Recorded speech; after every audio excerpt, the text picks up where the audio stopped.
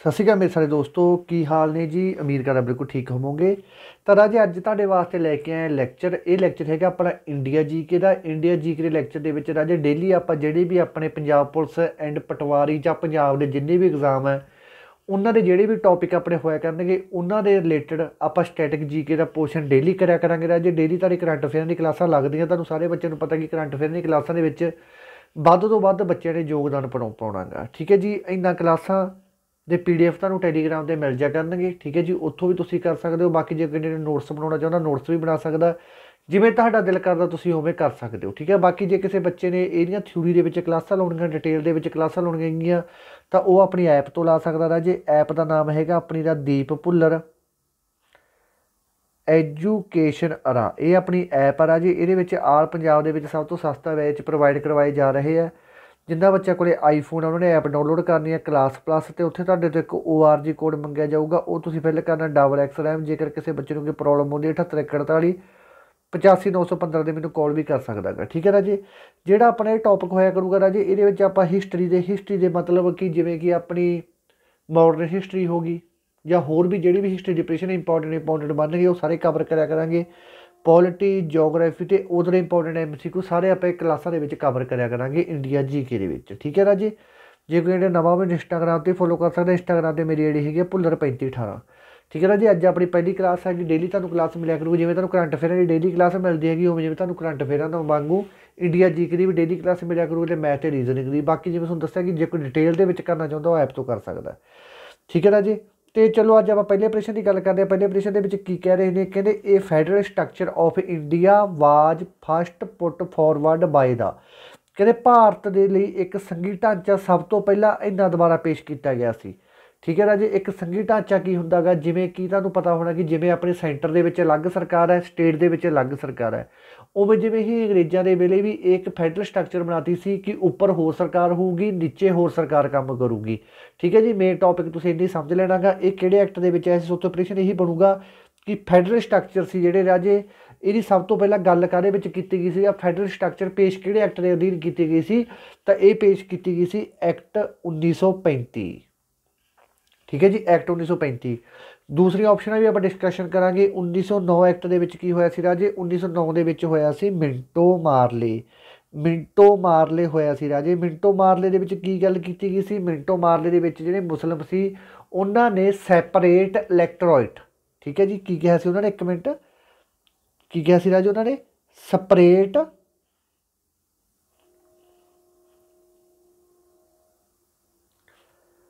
Electro election ਜਾਂ separate election ਦੀ ਗੱਲ ਕਹਿ ਰਹੇ ਤੁਸੀਂ ਸਪੇਸ਼ਲ ਇਲੈਕਸ਼ਨ ਵੀ ਕਹਿ ਸਕਦੇ ਹੋ ਸਪਰੇਟ ਬਣੇ ਦਾ ਅਲੱਗ ਇਲੈਕਸ਼ਨ ਕੀ ਕਿਹਾ ਸੀ ਰਾਜੀ ਐਕਟ ਦੇ ਵਿੱਚ? ਸਾਰੇ ਐਕਟ ਤੁਸੀਂ ਧਿਆਨ ਨਾਲ ਸੁਣਨੇ ਰਾਜੀ। ਵੀਡੀਓ ਕਹੋਗੇ ਜਦੋਂ ਆਪਾਂ ਤੁਸੀਂ ਦੇਖਣ ਹੀ ਲੱਗੇ ਤਾਂ ਹਰੇਕ ਚੀਜ਼ ਦਾ ਤੁਹਾਨੂੰ ਫਾਇਦਾ ਹੋਵੇ। ਆਪਾਂ ਉਹ ਚੀਜ਼ ਦੇ ਅਨੁਸਾਰ ਪੜਾਉਣਾਗਾ ਇਹ ਨਹੀਂ ਹੈਗੇ ਤੁਹਾਡੇ ਅੱਗੇ ਫਾਰਮੈਲਿਟੀ ਕਰਨੀ, ਇੱਕ ਇੱਕ ਲੈਕਚਰ ਪਾਤਾ।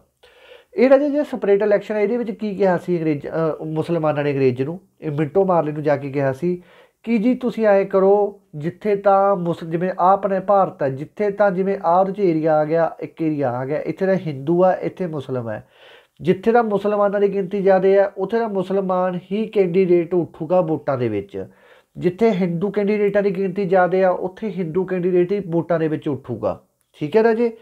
ਤਾਂ ਉਹਦੇ ਕਰਕੇ ਇਹਨਾਂ ਨੇ ਮਿੰਟੋ ਮਾਰਲੇ ਲੈ ਕੇ ਆਏ ਸੀ ਰਾਜੇ, ਮਿੰਟੋ ਮਾਰ ਮਾਰਲੇ ਐਕਟ ਉਹਦੇ ਵਾਸਤੇ ਲੈ ਕੇ ਆਏ ਸੀ ਕਿ ਜਿੱਥੇ ਮੁਸਲਮਾਨ ਹੈ, ਉੱਥੇ ਮੁਸਲਮਾਨ ਹੀ ਵੋਟ ਦੇਊਗਾ ਆਪਣੇ ਬੰਦੇ ਨੂੰ, ਹਿੰਦੂ ਵੋਟ ਨਹੀਂ ਦੇਊਗਾ। ਜਿੱਥੇ ਹਿੰਦੂ ਜ਼ਿਆਦਾ ਹੈ, ਉੱਥੇ ਹਿੰਦੂ ਹੀ ਵੋਟ ਦੇਣਗੇ, ਮੁਸਲਮਾਨ ਹੀ ਵੋਟ ਦੇਣਗੇ। ਇਹਦੇ ਨਾਲ ਕੀ ਹੋਇਆ ਸੀ ਰਾਜ? ਜਿੱਥੇ ਮੁਸਲਮ ਜ਼ਿਆਦਾ ਹੁੰਦੇ ਸੀ, ਉੱਥੇ ਹਿੰਦੂ ਆਪਦੇ ਆਪ ਨੂੰ ਮਤਲਬ ਐ ਸਮਝ ਲਓ ਕਿ ਸੁਰੱਖਿਅਤ ਨਹੀਂ ਸਮਝ ਰਹੇ ਸੀ ਤੇ ਜਿੱਥੇ ਹਿੰਦੂ ਜ਼ਿਆਦਾ ਸੀ, ਉੱਥੇ ਮੁਸਲਮਾਨ ਆਪਦੇ ਆਪ ਨੂੰ ਸੁਰੱਖਿਅਤ ਨਹੀਂ ਸਮਝ ਰਹੇ ਸੀ।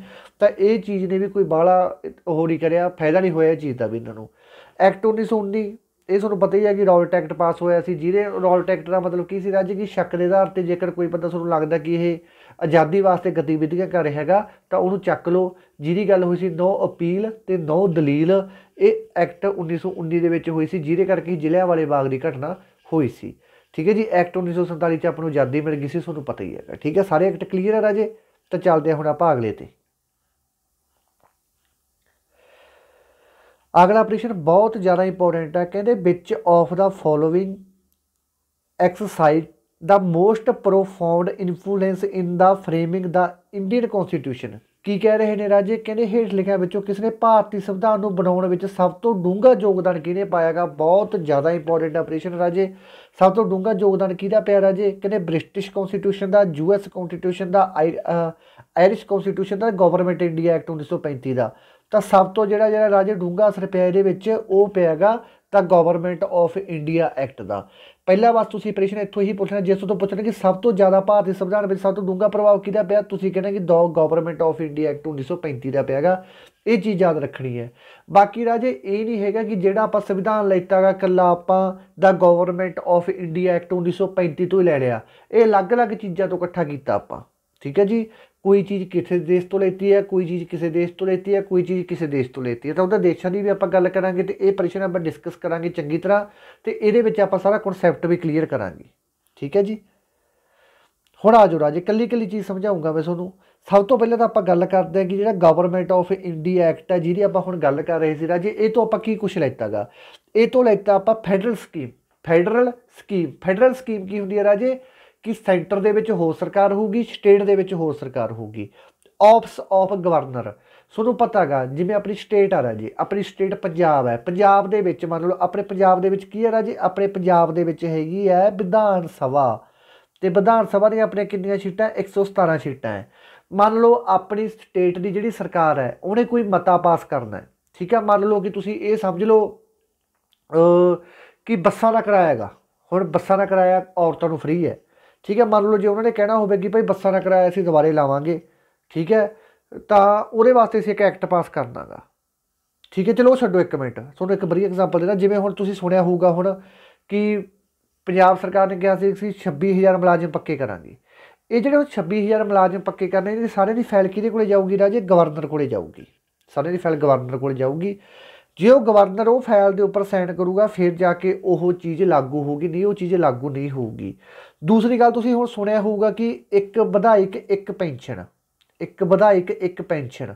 ਇਹ ਵੀ ਪੰਜਾਬ ਸਰਕਾਰ ਨੇ ਫੈਸਲਾ ਲਿੱਤਾ ਕਿ ਜੇਕਰ ਇੱਕ ਵਿਧਾਇਕ ਭਾਵੇਂ 10 ਵਾਰੀ ਬਣ ਜੇ ਵਿਧਾਇਕ ਉਹ, ਠੀਕ ਹੈ, ਪਰ ਉਹਨੂੰ ਜਿਹੜੀ ਪੈਨਸ਼ਨ ਆ, ਉਹ ਇੱਕ ਵਾਰੀ ਦੀ ਮਿਲੂਗੀ ਆਈ ਨਹੀਂ ਹੈਗਾ ਕਿ ਆਈ ਵਾਰ ਜਿਵੇਂ ਇਕੱਠੀ ਹੋ ਗਈ ਉਹਨੂੰ ਪੈਨਸ਼ਨ ਮਿਲ ਜਾ, ਬਣ ਜਾਂਦੀ ਸੀ। ਤਾਂ ਉਹਦੇ ਅਨੁਸਾਰ ਵੀ ਜਿਹੜਾ ਉਹਨੇ ਐਕਟ ਪਾਸ ਕੀਤਾ ਸੀ, ਉਹ ਐਕਟ ਗਵਰਨਰ ਕੋਲੇ ਗਿਆ ਸੀ, ਗਵਰਨਰ ਦੇ ਉਹਦੇ ਉੱਪਰ ਸਾਈਨ ਕਰਕੇ ਉਹਨੂੰ, ਮਤਲਬ ਆਖਰੀ ਉਹਦਾ ਇੱਕ ਬਣਾਤਾ ਸੀ ਕਿ ਭਾਈ ਇਹ ਚੀਜ਼ ਹੁਣ ਇੱਕ ਰੂਲ ਬਣ ਗਈ, ਠੀਕ ਹੈ ਜੀ। ਦੋ ਚੀਜ਼ਾਂ ਲੈਤੀਆਂ ਰਾਜੇ ਫੈਡਰਲ ਸਕੀਮ ਬਾਰੇ ਵੀ ਤੁਹਾਨੂੰ ਦੱਸਤਾ ਆਫਸ ਆਫ ਗਵਰਨਰ ਬਾਰੇ ਵੀ ਦੱਸਤਾ। ਜੁਡੀਸ਼ਰੀ ਜੁਡੀਸ਼ਰੀ ਬਾਰੇ ਕਿ ਜੱਜ ਜਿਹੜੇ ਉਹਨੇ ਫੈਸਲਾ ਸੁਣਾਉਣਗੇ, ਉਹਦੇ ਬਾਰੇ ਵੀ ਆਪਾਂ ਗੱਲ ਕਰ ਲਈ। ਠੀਕ ਹੈ ਜੀ public service commission public service commission ਹੁੰਦਾ ਹੈ ਪੀਐਸਸੀ ਜਿਹੜੇ ਆਪਣੇ ਸਟੇਟ ਦੇ ਵਿੱਚ ਪੀਸੀਐਸ ਬਣਦੇ ਪੀਸੀਐਸ ਸਟੇਟ ਦੇ, ਦੇਖੋ ਆਪਣੇ ਦੋ ਪੇਪਰ ਹੁੰਦੇ ਹੁੰਦੇ ਇੱਕ ਤਾਂ ਹੁੰਦਾ ਆਪਣਾ ਯੂਪੀਐਸਸੀ ਜਿਹਦੇ ਵਿੱਚ ਬੰਦਾ ਆਈਐਸ ਬਣਦਾ ਤੇ ਆਈਪੀਐਸ ਬਣਦਾ। ਉਹ ਵੀ ਜਿਵੇਂ ਸਟੇਟ ਪੀਸੀਐਸ ਹੁੰਦੇ ਜਿਹਦੇ ਵਿੱਚ ਬੰਦਾ ਡੀਐਸਪੀ ਸਿਲੈਕਟ ਹੁੰਦਾ ਤੇ ਤਹਿਸੀਲਦਾਰ ਸਿਲੈਕਟ ਹੁੰਦਾਗਾ, ਠੀਕ ਹੈ? ਇਹ ਲੋਨ ਲੈਵਲ ਤਾਂ ਜਾਂਦਾ ਕਿ ਉਹ ਵੀ ਆਪਾਂ ਲੈਤਾ ਜਿਹੜਾ ਗਵਰਨਮੈਂਟ ਆਫ ਇੰਡੀਆ ਐਕਟ ਤੋਂ ਲੈਤਾ ਹੈ। ਜਿਹੜੀ ਆਪਣੇ ਐਮਰਜੈਂਸੀਆਂ ਐਂਡ ਐਡਮਿਨਿਸਟ੍ਰੇਟਿਵ ਡਿਟੇਲ ਜਿਵੇਂ ਐਡਮਿਨਿਸਟ੍ਰੇਟਿਵ ਡਿਟੇਲ ਕੀ ਹੋਗੀ ਜਿਵੇਂ ਆਪਣੇ ਡੀਸੀ ਕੰਮ ਕਰਦੇ ਉਹ ਚੀਜ਼ਾਂ ਹੋ ਗਈਆਂ। ਠੀਕ ਹੈ ਜੀ? ਐਮਰਜੈਂਸੀ ਦੇ ਵਿੱਚ ਕਿਹੜੇ ਕਿਹੜੇ ਰੂਲ ਲਾਗੂ ਹੋਣਗੇ, ਉਹ ਚੀਜ਼, ਠੀਕ ਹੈ? ਮੇਨ ਰਾਜੇ, ਤੁਸੀਂ ਆ ਸਾਰਾ ਦੇਖ ਲੈਣਾ ਕਿ ਆ ਚੀਜ਼ਾਂ ਇਹਦੇ ਵਿੱਚ ਆਈਆਂ ਹੁਣ ਰਾਜੇ ਆਪਾਂ ਬ੍ਰਿਟਿਸ਼ ਤੋਂ ਕੀ ਲੈਤਾ? ਬ੍ਰਿਟਿਸ਼ ਕਨਸਟੀਟਿਊਸ਼ਨ ਤੋਂ ਕੀ ਲੈਤਾ ਆਪਾਂ ਰਾਜੇ? ਉਹ ਚੀਜ਼ ਧਿਆਨ ਨਾਲ ਦੇਖਣੀ ਹੈ। ਇਹ ਤੋਂ ਆਪਾਂ ਸਭ ਤੋਂ ਪਹਿਲਾਂ ਤਾਂ ਲੈਤਾ ਜੀ rule of law main main ਯਾਦ ਕਰਾਂਗੇ ਆਪਾਂ ਰੂਲ ਆਫ ਲਾਅ ਇੱਕ ਤਾਂ ਲੈਤੀ ਹੈ ਪਾਰਲੀਮੈਂਟ ਗਵਰਨਮੈਂਟ ਕਹਿੰਦਾ ਮਤਲਬ ਕਿ ਬ੍ਰਿਟਿਸ਼ ਕਨਸਟੀਟਿਊਸ਼ਨ ਤੋਂ ਆਪਾਂ ਕੀ ਲੈਤਾ ਰਾਜੇ ਕਿ ਸਾਡੇ ਭਾਈ ਸਾਹਿਬ ਇੱਕ ਕੀ ਹੋਊਗੀ? ਪਾਰਲੀਮੈਂਟ ਹੋਊਗੀ। ਤੇ ਪਾਰਲੀਮੈਂਟ ਕਿਹਦੀ ਬਣੂਗੀ? ਜਿਹੜੀ ਕੋਈ ਸਰਕਾਰ ਬਣੂਗੀ, ਉਹ ਆਪਣੀ ਪਾਰਲੀਮੈਂਟ ਬਣਾਊਗੀ। ਠੀਕ ਹੈ ਰਾਜੇ ਜਿਵੇਂ ਹੁਣ ਆਪਣੀ ਪਾਰਲੀਮੈਂਟ ਦੇ ਵਿੱਚ, ਆਪਣੇ ਵਿਧਾਨ ਸਭਾ ਦੇ ਵਿੱਚ ਬੈਠਦੇ ਆ ਜਾ ਕੇ ਆਪਣੇ ਐਮਐਲਏ ਜਿੱਤੇ ਉਸ ਹਿਸਾਬ ਤੇ। Rule of law rule of law ਦਾ ਕੀ ਮਤਲਬ ਕਿ ਜਿਹੜਾ ਰੂਲ ਹੋਊਗਾ ਰੂਲ ਦਾ ਜਿਹੜਾ ਲਾਅ ਹੋਊਗਾ, ਉਹ ਸਾਰਿਆਂ ਵਾਸਤੇ ਇੱਕੋ ਜਿਹਾ ਹੋਊਗਾ। ਠੀਕ ਹੈ ਰਾਜੇ ਲੈਕਸਲੇਟਿਵ ਪ੍ਰੋਸੀਜਰ ਲੈਕਸਲੇਟਿਵ ਲੇਚਰ ਮਤਲਬ ਕੀ ਹੈ ਕਿ ਕੋਈ ਵੀ ਆਪ ਦਾ ਮਤਲਬ ਰੂਲ ਇਕੱਠੇ ਹੋ ਕੇ ਬਣਾ ਸਕਦੇ ਹੈਗੇ। ਠੀਕ ਹੈ? ਜਿਹੜੇ ਬਣੇ ਹੋਏ ਹੋਣਗੇ। ਸਿੰਗਲ ਸਿਟੀਜ਼ਨਸ਼ਿਪ ਸਿੰਗਲ ਸਿਟੀਜ਼ਨਸ਼ਿਪ ਬਹੁਤ ਜ਼ਿਆਦਾ ਇੰਪੋਰਟੈਂਟ ਹੈ ਰਾਜੇ, ਬਹੁਤ ਵਾਰੀ ਪੁੱਛਿਆ ਗਿਆ ਪੇਪਰ ਵਿੱਚ ਸਿੰਗਲ ਸਿਟੀਜ਼ਨਸ਼ਿਪ ਕੀ ਹੁੰਦੀ ਹੈ? ਆਪਣੀ ਰਾਜੇ ਇੰਡੀਆ ਦੇ ਵਿੱਚ ਸਿੰਗਲ ਸਿਟੀਜ਼ਨਸ਼ਿਪ ਹੈ। ਕੀ ਮਤਲਬ ਹੈ? ਕਿ ਮੰਨ ਲਓ ਮੈਂ ਹੁਣ ਇੰਡੀਆ ਦੇ ਵਿੱਚ ਰਹਿਣਾਗਾ ਕੱਲ ਨੂੰ ਮੈਂ ਕੈਨੇਡਾ ਦੇ ਵਿੱਚ ਵਗ ਗਿਆ। ਕੈਨੇਡਾ ਦਾ ਮੈਂ ਪੀਆਰ ਹੋ ਗਿਆ। ਕੈਨੇਡਾ ਦਾ ਮੈਂ ਪੀਆਰ ਹੋ ਗਿਆ, ਉੱਥੋਂ ਦਾ ਮੈਂ ਪੱਕਾ ਵਸਨੀਕ ਬਣ ਗਿਆ। ਤਾਂ ਇੰਡੀਆ ਦੇ ਵਿੱਚੋਂ ਮੇਰੀ ਵੋਟ ਆਟੋਮੈਟਿਕ ਹੀ ਕੱਟੀ ਜਾਊਗੀ, ਜਾਂ ਤਾਂ ਮੈਂ ਇੰਡੀਆ ਦਾ ਵਸਨੀਕ ਰਹਿ ਸਕਦਾ ਜਾਂ ਮੈਂ ਕੈਨੇਡਾ ਦਾ ਰਹਿ ਸਕਦਾ, ਜੇਕਰ ਮੈਂ ਕੈਨੇਡਾ ਦਾ ਬਣ ਗਿਆ ਤੇ ਇੰਡੀਆ ਦੇ ਮੈਂ ਕੋਈ ਵੀ ਇੰਡੀਆ ਦਾ ਨਾਗਰਿਕ ਤਾਂ ਨਹੀਂ ਹੈਗਾ, ਤਾਂ ਕਰਕੇ ਇੰਡੀਆ ਦੇ ਵਿੱਚ ਸਿੰਗਲ ਸਿਟੀਜ਼ਨਸ਼ਿਪ ਹੈ। ਸਮਝ ਗਏ ਤੁਸੀਂ ਕਿ ਜੇ ਆਪਾਂ ਕਿਸੇ ਹੋਰ ਸਟੇਟ ਦੇ ਜਾਂ ਹੋਰ ਸਟੇਟ ਦੇ ਨਹੀਂ, ਹੋਰ ਕਿਸੇ ਕੰਟਰੀ ਦੇ ਨਾਗਰਿਕ ਬਣ ਗਏ, ਤਾਂ ਆਪਾਂ ਇੰਡੀਆ ਦੇ ਨਾਗਰਿਕਤਾ ਆਪਣੀ ਕੱਟੀ ਜਾਊਗੀ। ਠੀਕ ਹੈ ਜੀ, ਦੂਜੀ ਗੱਲ। ਇੱਕ ਆਪਾਂ ਕੈਬਨਿਟ ਸਿਸਟਮ ਕਿਤੋਂ ਲੈਤਾ ਰਹੇ ਸਾਰੇ ਯਾਦ ਕਰਨੇ ਪੈਣਗੇ। ਕੈਬਨਿਟ ਸਿਸਟਮ ਜਿਵੇਂ ਕੈਬਨਿਟ ਦੇ ਵਿੱਚ ਮੰਤਰੀ ਹੁੰਦੇ, ਜਿਵੇਂ ਤੁਸੀਂ ਸੁਣਿਆ ਹੋਊਗਾ, ਅਨਮੋਲ ਗਗਨ ਮਾਨ ਕੋਲੇ ਕਿਹੜਾ ਡਿਪਾਰਟਮੈਂਟ ਹੈਗਾ? ਠੀਕ ਹੈ ਜੀ? ਲਾਲਜੀਤ ਭੁੱਲਰ ਕੋਲੇ ਕਿਹੜਾ ਡਿਪਾਰਟਮੈਂਟ ਆ? ਭਗਵੰਤ ਮਾਨ ਸਾਹਿਬ ਕੋਲੇ ਕਿਹੜਾ ਡਿਪਾਰਟਮੈਂਟ ਆ? ਉਵੇਂ ਜਿਵੇਂ ਜਿਹੜੇ ਡਿਪਾਰਟਮੈਂਟ ਹੋਣਗੇ, ਉਹਨਾਂ ਦਾ ਕੈਬਨਿਟ ਸਿਸਟਮ ਹੋਊਗਾ। ਠੀਕ ਹੈ ਇਸ ਤੋਂ ਬਾਅਦ ਰੇਟਾਂ। ਜਿਹੜੇ ਰੇਟਾਂ ਹੁੰਦੀਆਂ ਹੈਗੀਆਂ ਉਹ ਵੀ ਆਪਾਂ ਕਿਤੋਂ ਲੈਤੇ ਹੈਗੇ ਬ੍ਰਿਟਿਸ਼ ਕਨਸਟੀਟਿਊਸ਼ਨ ਲੈਤੇ ਆ ਰੇਟਾਂ ਬਾਰੇ ਅੱਗੇ ਡਿਟੇਲ ਦੇ ਵਿੱਚ ਪੜਾਂਗੇ ਠੀਕ ਹੈ ਜੀ ਆ ਤੁਸੀਂ ਕੋਈ ਯਾਦ ਕਰਨ ਦੀ ਲੋੜ ਨਹੀਂ ਹੈਗੀ ਐਂਡ ਵਾਲਾ। ਠੀਕ ਹੈ, ਇਹ ਲੈਤਾ ਆਪਾਂ। ਮੇਨ ਮੇਨ ਤੁਸੀਂ ਕੀ ਯਾਦ ਕਰਨਾ ਇਹਦੇ ਵਿੱਚ? ਕਿ ਬ੍ਰਿਟਿਸ਼ ਕਨਸਟੀਟਿਊਸ਼ਨ ਤੋਂ ਆਪਾਂ ਕੀ ਲੈਤਾ? ਇੱਕ ਦਾ ਰੂਲ ਆਫ ਲਾ ਲੈਤਾਗਾ, ਇੱਕ ਸਿੰਗਲ ਸਿਟੀਜ਼ਨਸ਼ਿਪ ਇੱਕ ਰਿਟ। ਇਹ ਤਿੰਨੇ ਦਾ ਪੱਕੀ ਯਾਦ ਕਰਨਾ ਹੈ, ਬਾਕੀ ਜੇ ਕੋਈ ਭੁੱਲ ਵੀ ਜਾਓਗੇ ਕੋਈ ਐਡਾ ਇਸ਼ੂ ਨਹੀਂ ਹੈਗਾ। ਇਸ ਤੋਂ ਬਾਅਦ ਯੂਐਸ ਕਨਸਟੀਟਿਊਸ਼ਨ ਯੂਐਸ ਕਨਸਟੀਟਿਊਸ਼ਨ ਹੈਗਾ ਅਮਰੀਕਾ। ਅਮਰੀਕਾ ਤੋਂ ਆਪਾਂ ਕੀ ਕੁਝ ਲਿੱਤਾ? ਅਮਰੀਕਾ ਤੋਂ ਸਭ ਤੋਂ ਪਹਿਲਾਂ ਤਾਂ ਲੈਤੇ ਰਾਜੇ ਆਪਾਂ ਫੰਡਾਮੈਂਟਲ ਰਾਈਟ ਹੁਣ ਬੱਚੇ ਕਹਿਣਗੇ ਜੀ ਇੰਗਲਿਸ਼ ਦੇ ਵਿੱਚ ਕਰਵਾਓ ਰਾਜੇ ਚੀਜ਼ਾਂ ਇੰਗਲਿਸ਼ ਦੇ ਵਿੱਚ ਕਰਵਾਉਣ ਵਾਲੀਆਂ ਨਹੀਂ ਹੈਗੀਆਂ, ਇਹ ਤੁਹਾਨੂੰ ਇਦਾਂ ਹੀ ਕਰਨੀਆਂ ਪੈਣਗੀਆਂ। ਹਾਂ ਜਿਹੜਾ ਆਪਾਂ ਅੱਗੇ ਟੌਪਿਕ ਦੇ ਵਿੱਚ ਦੁਬਾਰੇ ਚੀਜ਼ਾਂ ਆਉਣਗੀਆਂ, ਉਹ ਆਪਾਂ ਚੰਗੀ ਤਰ੍ਹਾਂ ਪੰਜਾਬੀ ਜੀ ਕੰਪਲੀਟ ਕਰਾਂਗੇ, ਠੀਕ ਹੈ? ਫੰਡਾਮੈਂਟਲ ਰਾਈਟ ਕੀ ਹੁੰਦੇ ਰਾਜੇ? ਫੰਡਾਮੈਂਟਲ ਰਾਈਟ ਹੁੰਦੇ ਆਪਣੇ ਮੌਲਿਕ ਅਧਿਕਾਰ। ਮੌਲਿਕ ਅਧਿਕਾਰ ਵੀ ਤੁਹਾਨੂੰ ਕਰਵਾਵਾਂਗੇ ਅੱਗੇ ਜਾ ਕੇ, ਠੀਕ ਹੈ ਰਾਜੇ? ਇੱਕ ਤਾਂ ਕਹਿੰਦੇ ਫੰਡਾਮੈਂਟਲ ਰਾਈਟ ਆਪਾਂ ਲੈਤੇ ਜਿਹੜੇ ਆਪਣੇ ਮੌਲਿਕ ਅਧਿਕਾਰ ਹੈਗੇ, ਜਿਵੇਂ ਕਿ ਆਪਾਂ ਨੂੰ ਫਰੀडम ਆਪਣੀ ਬੋਲਚਾਲ, ਧਰਮ ਦੇ ਪ੍ਰਤੀ ਆਪਾਂ ਨੂੰ ਆਜ਼ਾਦੀ ਆਪਾਂ ਕੋਈ ਵੀ ਧਰਮ ਅਪਣਾ ਸਕਦੇ ਹਾਂ, ਠੀਕ ਹੈ ਜੀ, ਕਿਤੇ ਵੀ ਆਪਾਂ ਘੁੰਮ ਫਿਰ ਸਕਦੇ ਹਾਂ, ਉਹ ਸਾਰੀਆਂ ਚੀਜ਼ਾਂ ਆ ਜਾਂਦੀਆਂ ਹੈਗੀਆਂ, ਠੀਕ ਹੈ ਨਾ ਜੀ 12 ਤੋਂ ਲੈ ਕੇ 31 ਤੱਕ ਆਪਣੇ ਫੰਡਾਮੈਂਟਲ ਰਾਈਟ ਆ ਜਾਂਦੇ 12 ਤੋਂ ਲੈ ਕੇ 35 ਤੱਕ ਸੌਰੀ ਫੰਡਾਮੈਂਟਲ ਰਾਈਟ ਆ ਜਾਂਦੇ ਆ, ਠੀਕ ਹੈ ਜੀ? ਇਸ ਤੋਂ ਬਾਅਦ ਇੰਡੀਪੈਂਡੈਂਸ ਆਫ ਜੁਡੀਸ਼ਰੀ ਕਹਿੰਦਾ ਮਤਲਬ ਕਿ ਜਿਹੜੀ ਜੁਡੀਸ਼ਰੀ ਹੋਊਗੀ ਰਾਜੇ, ਜਿਵੇਂ ਆਪਣੀ ਸੁਪਰੀਮ ਕੋਰਟ ਹੋਗੀ ਜਾਂ ਆਪਣੀ ਡਿਸਟ੍ਰਿਕਟ ਕੋਰਟ ਹੋਗੀ ਜਾਂ ਆਪਣੀ ਹਾਈ ਕੋਰਟ ਹੋਗੀ ਠੀਕ ਹੈ ਰਾਜੇ, ਉਹਨਾਂ ਨੇ ਕੋਈ ਵੀ ਫੈਸਲਾ ਸੁਣਾਉਣਾਗਾ, ਉਹ ਆਜ਼ਾਦ ਹੋਣਗੇ, ਕਿਸੇ ਵੀ ਸਰਕਾਰ ਦੇ ਦਬਾਅ ਦੇ ਵਿੱਚ ਆ ਕੇ ਉਹ ਫੈਸਲਾ ਨਹੀਂ ਸੁਣਾਉਣਗੇ। ਨੰਬਰ 3 ਤੇ ਜੁਡੀਸ਼ੀਅਲ ਰਿਵਿਊ ਜੁਡੀਸ਼ੀਅਲ ਦਾ ਰਿਵਿਊ ਸਾਰਿਆਂ ਵਾਸਤੇ ਇੱਕੋ ਜਿਹਾ ਹੋਊਗਾ, ਉਹੀ ਚੀਜ਼ ਸੇਮ ਟੂ ਸੇਮ ਆ ਗਈ। ਇੰਪੀਚਮੈਂਟ ਆਫ ਪ੍ਰੈਜ਼ੀਡੈਂਟ ਜੇਕਰ ਪ੍ਰੈਜ਼ੀਡੈਂਟ ਨੂੰ ਹਟਾਉਣਾ ਰਾਜੇ, ਇਹ ਰੂਲ ਵੀ ਆਪਾਂ ਕਿਤੋਂ ਲੈਤਾਗਾ ਯੂਐਸ ਤੋਂ ਲੈਤਾਗਾ ਇੰਪੀਚਮੈਂਟ ਇੰਪੀਚਮੈਂਟ ਦਾ ਮਤਲਬ ਹੁੰਦਾ ਹਟਾਉਣਾ। ਪ੍ਰੈਜ਼ੀਡੈਂਟ ਨੂੰ ਹਟਾਉਣ ਦਾ ਆਰਟੀਕਲ ਕਾਰਡ ਦੇ ਵਿੱਚ ਆ ਜਾਂਦਾ, ਇਹ ਵੀ ਅੱਗੇ ਜਾ ਕੇ ਡਿਸਕਸ ਕਰਾਂਗੇ। ਉਹ ਵੀ ਜਿਵੇਂ ਪ੍ਰੈਜ਼ੀਡੈਂਟ ਨੂੰ ਹਟਾਉਣਾ, ਠੀਕ ਹੈ ਜੀ ਸੁਪਰੀਮ ਕੋਰਟ ਦੇ ਜੱਜ ਨੂੰ ਹਟਾਉਣਾ ਹਾਈ ਕੋਰਟ ਦੇ ਜੱਜ ਨੂੰ ਹਟਾਉਣਾ, ਜਾਂ ਵਾਈਸ ਪ੍ਰੈਜ਼ੀਡੈਂਟ ਨੂੰ ਹਟਾਉਣਾ। ਇਹਨਾਂ ਸਾਰੇ ਨੂੰ ਹਟਾਉਣ ਦੀ ਜਿਹੜੀ ਗੱਲ ਕੀਤੀ ਗਈ ਹੈ, ਜਿਹੜੀ ਆਪਾਂ ਕਨਸਟੀਟਿਊਸ਼ਨ ਦੇ ਵਿੱਚ ਦਾਖਲ ਕੀਤੀ ਹੈ, ਉਹ ਵੀ ਆਪਾਂ ਯੂਐਸ ਤੋਂ ਲੈਤੀ ਹੋਈ ਹੈ। ਵੈਰੀ ਵੈਰੀ ਇੰਪੋਰਟੈਂਟ ਇਸ ਤੋਂ ਬਾਅਦ ਆ ਗਿਆ ਆਪਣਾ ਆਇਰਿਸ਼ ਕਨਸਟੀਟਿਊਸ਼ਨ ਠੀਕ ਹੈ ਨਾ ਜੀ ਜਿਹੜਾ ਆਪਾਂ ਆਇਰਲੈਂਡ ਕਹਿ ਦਿੰਦੇ ਆ ਠੀਕ ਹੈ ਆਇਰਲੈਂਡ ਤੋਂ ਜਾਂ ਆਇਰਿਸ਼ ਕਨਸਟੀਟਿਊਸ਼ਨ ਇਹ ਤੋਂ ਆਪਾਂ ਲੈਤਾ ਰਾਜੇ ਡੀਪੀਐਸਪੀ ਵੈਰੀ ਵੈਰੀ ਇੰਪੋਰਟੈਂਟ ਪਿਛਲਾ ਬਹੁਤ ਵਾਰੀ ਆਇਆ ਪਿਆ ਡੀਪੀਐਸਪੀ ਡੀਪੀਐਸਪੀ ਲੈਤੇ ਰਾਜੇ ਆਪਾਂ direct principle of state policy ਕਿਦੋਂ ਲੈਤੇ ਆਇਰ ਆਇਰਿਸ਼ ਕਨਸਟੀਟਿਊਸ਼ਨ ਤੋਂ ਲੈਤੇ ਆ। ਠੀਕ ਹੈ ਜੀ, ਇਸ ਤੋਂ ਬਾਅਦ ਤੁਸੀਂ ਸੁਣਿਆ ਹੋਊਗਾ ਜਿਹੜੇ ਰਾਜ ਸਭਾ ਦੇ ਮੈਂਬਰ ਚੁਣਦੇ ਆ ਨਾ ਰਾਜੇ ਰਾਜ ਸਭਾ ਦੇ ਮੈਂਬਰਾਂ ਦੀਆਂ ਵੋਟਾਂ ਨਹੀਂ ਪੈਂਦੀਆਂ ਹੁੰਦੀਆਂ, ਸਰਕਾਰ ਆਪਦੇ ਵੱਲੋਂ ਚੁਣ ਕੇ ਭੇਜਦੀ ਆ, ਆਪਣੀ ਮਰਜ਼ੀ ਨਾਲ। ਕਿਸੇ ਨੂੰ ਵੀ ਚੁਣ ਸਕਦੇ ਹੈ ਉਹ ਵੀ ਜਿਹੜੇ ਉਹਨੇ ਨੋਮੀਨੇਸ਼ਨ ਹੁੰਦੀ ਹੈਗੀ, ਜਿਹੜੇ ਉਹਨੇ ਨੋਮੀਨੇਸ਼ਨ ਹੁੰਦੀ ਆ, ਉਹ ਕਿਰਿਆ ਵੀ ਆਪਾਂ ਰਾਜ ਸਭਾ ਦੀ ਨੋਮੀਨੇਸ਼ਨ ਦੀ ਕਿਰਿਆ ਵੀ ਅਤੇ ਜਿਹੜੀ ਪ੍ਰੈਜ਼ੀਡੈਂਟ ਦੀ ਇਲੈਕਸ਼ਨ ਹੁੰਦੀ ਹੈ ਪ੍ਰੈਜ਼ੀਡੈਂਟ ਦੀ ਇਲੈਕਸ਼ਨ ਦੇ ਵਿੱਚ ਤੁਹਾਨੂੰ ਪਤਾ ਹੈਗਾ ਕਿ ਜਿਹੜੇ ਜਿੱਤੇ ਹੋਏ ਐਮਏ ਐਮਪੀ ਜਾਂ ਐਮਐਲਏ ਹੁੰਦੇ, ਉਹੀ ਵੋਟ ਪਾਉਂਦੇ ਆ। ਤਾਂ ਉਹ ਚੀਜ਼ ਵੀ ਮੈਥਡ ਵੀ ਇਲੈਕਸ਼ਨ ਦਾ ਪ੍ਰੈਜ਼ੀਡੈਂਟ ਪ੍ਰੈਜ਼ੀਡੈਂਟ ਦੀ ਦਾ ਆਇਰਿਸ਼ ਤੋਂ ਲੈਤਾ ਗਿਆ ਤੇ ਰਾਜ ਸਭਾ ਦੇ ਵਿੱਚ ਜਿਹੜੇ ਨੋਮੀਨੇਟ ਕੀਤੇ ਜਾਂਦੇ ਮੈਂਬਰ ਉਹਨਾਂ ਦਾ ਵੀ ਆਪਾਂ ਇਹਨਾਂ ਤੋਂ ਲੈਤਾ ਹੈ। ਇਸ ਤੋਂ ਬਾਅਦ ਆ ਗਿਆ ਕੈਨੇਡੀਅਨ ਕੈਨੇਡਾ ਤੋਂ ਕੀ ਲੈਤਾ ਰਾਜੇ? ਸਭ ਤੋਂ ਇੰਪੋਰਟੈਂਟ ਚੀਜ਼ ਹੈ ਕੈਨੇਡਾ ਤੋਂ ਆਪਾਂ ਲੈਤਾ ਰਾਜੇ।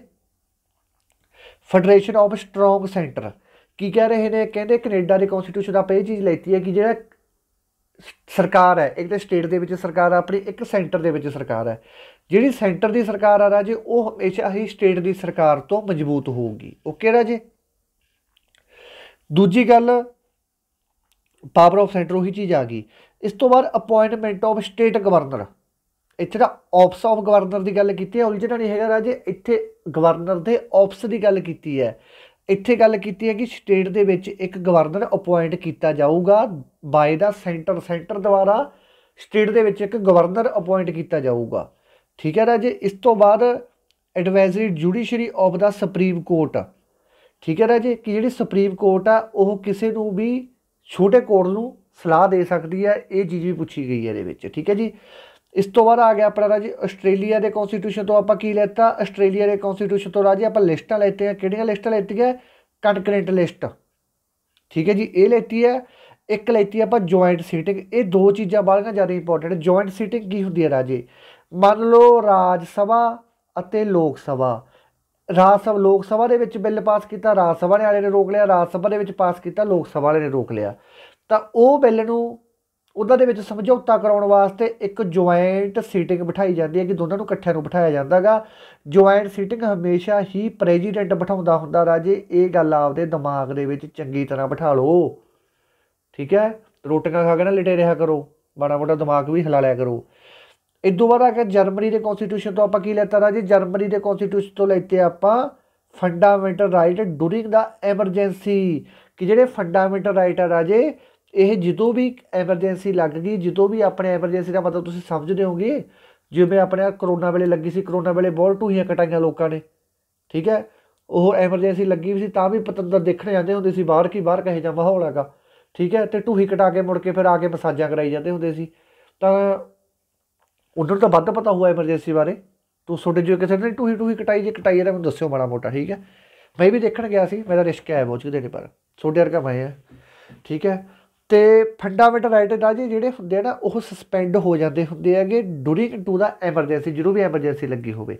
ਐਮਰਜੈਂਸੀ ਤੁਹਾਨੂੰ ਪਤਾ ਅੱਗੇ ਜਾ ਕੇ ਗੱਲ ਕਰਾਂਗੇ national emergency state emergency financial emergency ਅਲੱਗ-ਅਲੱਗ ਤਰ੍ਹਾਂ ਦੇ ਤਾਂ ਆਪਣੀਆਂ ਐਮਰਜੈਂਸੀਆਂ ਹੁੰਦੀਆਂ ਹੈਗੀਆਂ। ਠੀਕ ਹੈ ਨਾ ਜੀ? ਤੇ ਇਹ ਹੋ ਜਾਂਦੀ ਹੈ ਸਸਪੈਂਡ ਕੱਲੀ 19 ਤੇ 20 19 ਤੇ 20 ਇਹ ਦੋ ਨਹੀਂ ਸਸਪੈਂਡ ਹੁੰਦੀਆਂ, ਬਾਕੀ ਸਾਰੀਆਂ ਹੋ ਜਾਂਦੀਆਂ। ਠੀਕ ਹੈ ਨਾ ਜੀ? ਇਸ ਤੋਂ ਬਾਅਦ ਆ ਗਿਆ ਆਪਣੇ ਸੋਵੀਅਤ ਕਨਸਟੀਟਿਊਸ਼ਨ ਠੀਕ ਹੈ, ਇਹ ਚ ਫੰਡਾਮੈਂਟਲ ਡਿਊਟੀ ਲੈਤੀ ਹੈ, ਬਸ ਇਹੀ ਚੀਜ਼ ਯਾਦ ਕਰ ਲਿਓ, ਹੋਰ ਕੁਝ ਨਹੀਂ ਹੈਗਾ ਇਹਦੇ ਚ। ਇਸ ਤੋਂ ਬਾਅਦ ਆ ਗਿਆ ਅਗਲਾ ਆਪਰੇਸ਼ਨ ਬਹੁਤ ਜ਼ਿਆਦਾ ਇੰਪੋਰਟੈਂਟ ਆਪਰੇਸ਼ਨ ਹੈ ਰਾਜੇ, ਬਹੁਤ ਜ਼ਿਆਦਾ ਇੰਪੋਰਟੈਂਟ ਆਪਰੇਸ਼ਨ ਹੈ। ਕੀ ਕਹਿ ਰਹੇ ਨੇ ਇਹਦੇ ਵਿੱਚ? ਕਹਿੰਦੇ how does the constitution of India describe ਜਿਹੜਾ ਆਪਣਾ ਭਾਰਤ ਦਾ ਸੰਵਿਧਾਨ ਹੈਗਾ, ਉਹਦੇ ਵਿੱਚ ਭਾਰਤ ਨੂੰ ਕਿਵੇਂ ਰਾਜੇ ਪਰਿਭਾਸ਼ਾ ਦਿੱਤੀ ਗਈ ਹੈ, ਜਾਂ ਕਿਵੇਂ ਦੱਸਿਆ ਗਿਆ ਕਿ ਆਹ ਸਾਡਾ ਭਾਰਤ ਹੈ? ਉਹ ਦੱਸਿਆ ਗਿਆ ਰਾਜੇ, ਇਹ ਯੂਨੀਅਨ ਆਫ ਸਟੇਟਸ ਇਹ ਯੂਨੀਅਨ ਆਫ ਸਟੇਟਸ ਦਾ ਮਤਲਬ ਕੀ ਹੈ? ਭਾਰਤ ਇੱਕ ਸੰਘ ਦੇਸ਼ ਹੈ। ਭਾਰਤ ਇੱਕ ਸੰਘ ਦੇਸ਼ ਹੈ। ਕਹਿੰਦਾ ਮਤਲਬ ਕਿ ਭਾਰਤ ਦੇ ਵਿੱਚ 28 ਤਾਂ ਰਾਜ ਹੈ। ਰਾਜੇ ਤੇ 9 ਇਹਦੇ ਵਿੱਚ ਜੂਟੀਆਂ ਹੈ। ਇਹ ਸਾਰੀਆਂ ਇੱਕ ਦੂਜੇ ਦਾ ਅੰਗ ਹੈ। ਇਹ ਨਹੀਂ ਹੈਗਾ ਕਿ ਹੁਣ ਪੰਜਾਬ ਮੇਰੇ ਕੋਲੇ ਹੈ। ਠੀਕ ਹੈ, ਜਿਵੇਂ ਹੁਣ ਤੁਸੀਂ ਮੰਨ ਲਓ, ਆਪਣੇ ਹੁਣ ਸੰਵਿਧਾਨ ਦੇ ਹਿਸਾਬ ਤੇ ਜਿਵੇਂ ਕਹਾਂ ਜੇ ਆਪਣੇ ਲੋਕ ਕਹਿਣਗੇ, ਭਾਈ ਸਾਹਿਬ, ਅਸੀਂ ਪੰਜਾਬ ਦੇ ਵਿੱਚ ਚਾ ਐ ਸਮਝ ਲਓ ਕਿ ਯਾਰ ਮੈਂ ਕਹਾਂ ਕਿ ਮੈਂ ਪੰਜਾਬ ਦੇ ਵਿੱਚ, ਮੈਂ ਵੋਟਾਂ ਦੇ ਵਿੱਚ ਖੜਾ ਹੋ ਗਿਆ, ਮੈਂ ਪੰਜਾਬ ਦੇ ਵਿੱਚ ਜਿੱਤਦੇ ਨੂੰ ਮੈਨੂੰ 20 ਸਾਲ ਹੋ ਗਏ, ਪੰਜਾਬ ਦੇ ਵਿੱਚ ਮੈਂ ਜਿੱਤੀ ਜਾਂਦਾ ਵੋਟਾਂ ਦੇ ਵਿੱਚ। ਬਾਅਦ ਵਿੱਚ ਮੈਂ ਕਹਾਂ, ਯਾਰ ਸਾਡੀ ਸਰਕਾਰ 20 ਸਾਲਾਂ ਦੀ ਆਈ ਜਾਂਦੀ ਹੈ, ਕਿਉਂ ਨਾ ਮੈਂ ਪੰਜਾਬ ਨੂੰ ਇੱਕ ਅਲੱਗ ਸਟੇਟ ਬਣਾ ਦਾਂ? ਮੈਂ ਪੰਜਾਬ ਨੂੰ ਇੱਕ ਅਲੱਗ ਸਟੇਟ ਬਣਾ ਦਾਂ ਕੰਟਰੀ ਬਣਾ ਦਾਂ ਪੰਜਾਬ ਨੂੰ ਅਲੱਗ, ਕਿ ਬਸ ਪੰਜਾਬ ਦੇ ਵਿੱਚ ਮੇਰੀ ਚੱਲੂ ਐਦਾਂ ਕੁਝ ਨਹੀਂ ਹੋ ਸਕਦਾ ਰਾਜੇ ਇਹ ਆਰਟੀਕਲ 12 ਦੇ ਵਿੱਚ ਲਿਖਿਆ ਹੋਇਆ ਹੈ। ਆਰਟੀਕਲ 12 ਦੇ ਵਿੱਚ ਕੀ ਲਿਖਿਆ ਹੋਇਆ ਹੈ? ਕਿ ਭਾਈ ਜਿਹੜਾ ਆਪਣਾ ਦੇਸ਼ ਹੈ, ਇਹ ਕੀ ਹੈ? ਇੱਕ ਯੂਨੀਅਨ ਆਫ ਸਟੇਟ ਹੈ, ਇੱਕ ਦੇਸ਼ਾਂ ਦਾ ਦੇਸ਼ ਦਾ ਸੰਘ ਹੈ, ਜਿਹਦੇ ਵਿੱਚ 28 ਦੇਸ਼ ਹੈ 28 ਸਟੇਟਾਂ ਗਈਆਂ ਤੇ 9 ਜੂਟੀਆਂ ਗਈਆਂ ਰਾਜੇ, ਠੀਕ ਹੈ?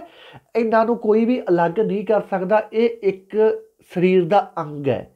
ਤੇ ਆਰਟੀਕਲ 13 ਦੇ ਵਿੱਚ ਕੀ ਕਿਹਾ ਗਿਆ ਹੈ ਕਹਿੰਦੇ ਜੇਕਰ ਕੋਈ ਇਸ ਤਰ੍ਹਾਂ ਕਰਨ ਦੀ ਕੋਸ਼ਿਸ਼ ਵੀ ਕਰੂਗਾ, ਮੰਨ ਲਓ ਜੇ ਕੋਈ ਕਹੂਗਾ ਕਿ ਪੰਜਾਬ ਨੂੰ ਭਾਈ ਸਾਹਿਬ ਮੈਂ ਖਾਲਿਸਤਾਨ ਬਣਾਦਾ ਜਾਂ ਮੈਂ ਪੰਜਾਬ ਨੂੰ ਹਿੰਦੂ ਰਾਸ਼ਟਰ ਬਣਾਦਾ ਤਾਂ ਉਹ ਚੀਜ਼ ਕਦੇ ਨਹੀਂ ਬਣ ਸਕਦੀ ਰਾਜੇ। ਕਿਉਂ ਨਹੀਂ ਬਣ ਸਕਦੀ? ਕਿਉਂਕਿ ਆਰਟੀਕਲ 13 ਦੇ ਵਿੱਚ ਮੈਂਸ਼ਨ ਕਰਤਾ ਕਿ ਜੇ ਕੋਈ ਇਹੋ ਜਿਹਾ ਕੁਝ ਕਰਨਾ ਚਾਹੁੰਦਾਗਾ, ਉਹਨੂੰ ਨਾਲ ਦੇ ਨਾਲ ਹੀ ਜ਼ੀਰੋ ਮੰਨ ਲਿਆ ਜਾਊਗਾ।